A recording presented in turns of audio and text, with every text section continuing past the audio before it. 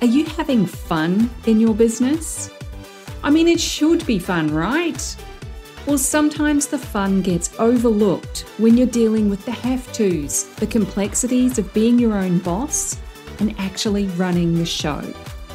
It's my goal that this, the Fun Business, Fun Money podcast, can help reignite your spark of fun by providing tips, tools, insights, and inspiration so you can enjoy running your business in the simplest, easiest, most fun way possible.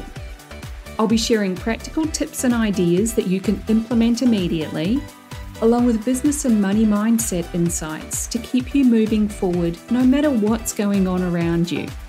I'm your host, Deirdre Amies, the fun business and money coach and founder of Powered by Personality.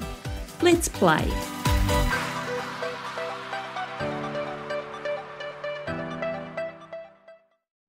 There, and welcome back to the Fun Business, Fun Money podcast. Today, I've got a tactic for you in this hopefully short episode, but we'll just see how that goes. This is a tactic that's helped me and so many others that I've shared it with to create a new simple daily habit. We all love those, right? This is a quick fix for one of the biggest productivity blocks that I'm going to say most of the people on the planet with an email address or two have experienced. This is also particularly relevant for you if you're a business owner who doesn't have time for boring admin stuff. I mean, boring, hello. That thing is managing your emails. I've got a simple five step system that I'll share with you shortly that will take you less than five minutes a day. And that frees you up for all the exciting, interesting, money making, and creative things that you really want to be focusing on instead. But it also gives you peace of mind that you're managing your emails like a boss, because that's what you are. You're the boss. So if you're on social media, whether it's Facebook, LinkedIn, Instagram, TikTok, all of the places, at some point you will have noticed people sharing how many unread emails they have sitting in their inbox. It's like a badge of honor. And I can think of a couple of personality types that would absolutely hate dealing with that stuff and completely rebel against cleaning it up, regardless of whether it made their day, their business, their results a lot easier. So, my background is that I spent 25 years working in various corporate admin roles. Most of my earliest jobs involved a lot of paper and one computer terminal for the entire office that was used for basic functions. Yes, it was the digital dark ages, which is kind of funny to think that it's really not that long ago. At least I don't think it is. We're talking the mid 90s. And then the internet and email became a more common thing in every office and home. And we started shifting everything into the digital world, which I love. It honestly made the work that I used to do so much easier because it meant I didn't have to retain so much knowledge in my head. I could simply search for it. So I have a simple process for managing emails, which developed from having to manage other people's emails as part of my job. I had full visibility on their inbox and I could send on their behalf. So there's a huge amount of trust involved at that level. I would oversee what was coming in and prioritize them, removing junk and spam and pointless stuff, so that my boss was maximizing their time and attention on the things that actually mattered. Now, everyone has different ways of managing their emails, and it would always take a bit of time to adapt to how a new person wanted things done. Sometimes it was easy, especially if they were happy to take half an hour or so and show me what they wanted. Others would look at me like I had two heads or something when I suggested that they go over their preferences with me. They couldn't imagine anyone not doing it their way. So I think it depends on what you've been taught to do. And to be honest, most people have adopted a system created by someone else without thinking about whether it really suits you. So, with emails, the standard seems to be that anything you want to keep, you create a subfolder and you file it, much like you would with a piece of paper in a filing cabinet. Anything else, in theory, gets deleted. The reality is, a lot of people simply don't have the time or energy to implement or maintain that kind of system. You really do need an assistant to help you run it effectively because having to look at each email, decide its relevancy, and then drag it to a particular folder, that can be a lot. And even more so when it's a sub subfolder, like a tab in a folder, a physical folder to separate documents. So, if this is how you do things and it works well for you and you're keeping on top of it all, kudos to you. But I always wonder how do you go about finding a filed email once you've put it somewhere? Because I can tell you, I've spent far too much time standing around waiting while someone's frantically clicking in and out of folders, muttering to themselves about various keywords. Who was it from? What was it about? Yeah, you know what I'm talking about. So, fast forward to now, and most people are still trying to follow that same system that really doesn't work for most of us especially if you're in business for yourself, there is honestly no need to use a process that only applies to big corporate requirements. And in particular, I'm going to say a legal department of a big corporate. So, what's the alternative? Simplify the process. This is something that works for every email provider that I've ever used. In my opinion, they're much the same. Let's get straight into it. Step one in your inbox, select all, mark as read. Boom! Instantly, you have no unread emails.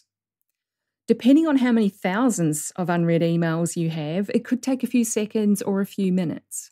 But the end result is that you no longer have the red notification thing on your phone distracting you and triggering those thoughts of, oh, I hate that. I, I really need to sort that out. I don't have time. I wish it would just go away. Ta da! It's gone in a flash. Now, this doesn't delete anything, so don't go freaking out about it. That's not the point of it at all. And if you're using an email provider that has a limit on your storage capacity, you're probably going to want to delete some junk and free up some space. And we'll get to that in a minute. Step two is to unsubscribe. Just because you've cleared the illusion of thousands of unread emails doesn't mean they're going to stop coming in. Over time, you've subscribed to lists, you've signed up for freebies or discount codes. That junk piles up. And if you just carry on as you have, you're going to end up right back where you started. So, step two is to unsubscribe from emails as they come in. You don't need to scroll back through endless pages of stuff. You can just handle them as they land in your inbox. And this is what will take you maybe five minutes a day. Unsubscribe, mark as junk, delete.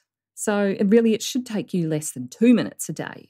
So, just get it done. And over time, you're going to see less and less garbage and more of the things that are actually relevant and that you enjoy getting in your emails.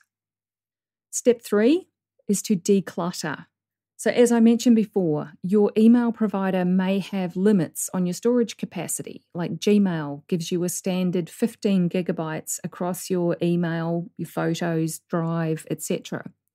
And of course, you can pay for more storage, but you might also find some wiggle room by deleting some of those old emails. As you go through and unsubscribe from the newly landed junk, take a moment to sort those emails by that sender. It'll group everything together so that you've got it all in one group and you can do a mass deletion of that stuff from that sender. Boom, they're gone. Step four, make it a daily habit. It's all well and good to go through this and clean things up, but like I said, you've got to maintain it. This is one of the best daily habits that you can establish as a business owner. It honestly takes less than five minutes a day. Get in there, check your emails on the regular, delete and unsubscribe from what you don't need, and keep the rest. And step five, use the search function. I'm sure you're thinking, how do I find an old email if I'm not filing them into folders? So easy and simple, use that search function. Typing in a keyword or a person's name is so much quicker than scrolling through, trying to find something, clicking in and out of folders, all of that stuff. So, if the idea of leaving everything in your inbox gives you hives, by all means, drop them into folders so that you can achieve inbox zero. Personally, I like knowing that anything I might need is easily accessible with that quick search, and I don't have to remember information based on categories or projects. This is just one simple, easy way to clean up your inbox and move forward with one less thing to distract you from achieving your goals. It's simple systems like this that are an absolute game changer for any business. It's all about making your life easier, knowing that you're not missing anything important amongst all the digital junk. So let me know if this is something that you're going to try, or have you now tried this now that you've heard of it? Maybe you have an even better way of managing your emails, in which case, I need to hear about that. I love hearing that people are implementing simpler and easier ways to do essential tasks. So you can send me a DM on Facebook or Instagram. I'm at Fun Business Fun Money on both platforms, or you can search for Deirdre Amies. I'm the only one out there with the spelling of my name. And you can also drop me an email at hello at deirdreamies.com. So you'll find the link for that, along with my not so easy to spell name, in the show notes. And obviously, if you send me an email, I'm going to see it in a timely manner because I've got this simple, easy system in place. Nothing gets lost in my inbox. So that's it from me. Take care, have fun decluttering your emails, and I'll catch you in the next episode. Thanks for joining me. If you found this episode useful, make sure you hit that follow button on your chosen podcast platform so you get the notifications when each new episode goes live and you don't miss anything. If you know someone who would also get something from it, don't be shy, share it with them. One of the best things about being a business coach for online entrepreneurs is helping them make sense of their creative ideas and turn them into a simple, clear business system that actually makes money. A client recently described me as a castle building expert. You've got the big vision and some of the building materials already, but you don't quite know how to bring it all together into a solid foundation. Then I come along and I show you the blueprint that makes sense of it all. I love that analogy. And I'd love to show you your personalised blueprint the one that's just right for you and your clients. But I can't do that until you join Ignite, my business and money coaching program. So head on over to deirdreamies.com forward slash ignite for all the details. Fill out the application form and let's talk about building your castle in the simplest, easiest way possible.